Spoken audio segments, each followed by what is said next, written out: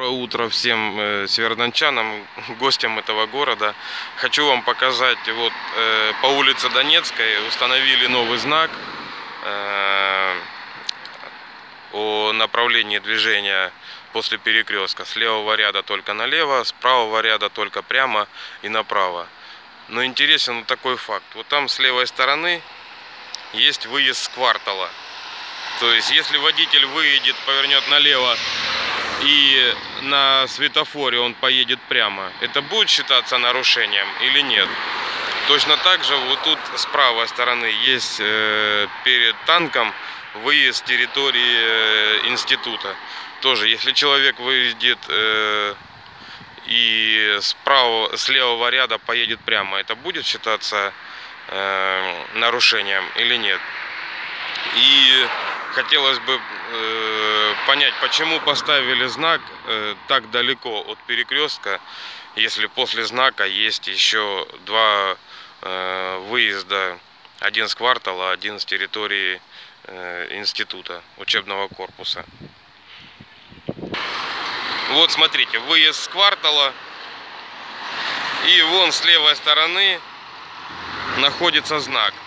От знака до въезда в этот квартал я посчитал шагами. Здесь 54 шага. Это как минимум 50 метров. А от знака и до перекрестка, ну, как минимум метров 150.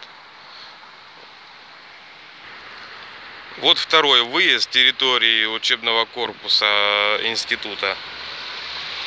Вот, вот там, вон, где маршрутка проезжает, вот там находится знак. Вот выезд. И вот перекресток. Вот если отсюда машина выедет и перестроится в левый ряд и поедет прямо, это будет считаться нарушением или нет?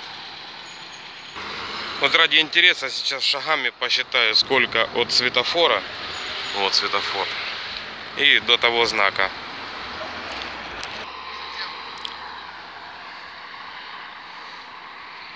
Вот машина с квартала выезжает. Водитель знак не видит уже.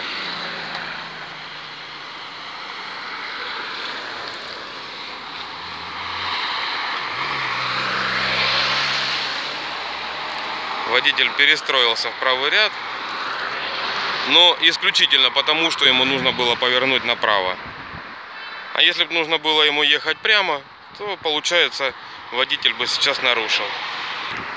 119, 120, 121, 22, 123, 124, 125, 126, 127, 128 шагов. Я принципиально делал большие шаги. Вот 128 метров от знака до светофора. Вот чем руководствуются люди, которые вешают так безалаберно знаки дорожного движения. Всем спасибо.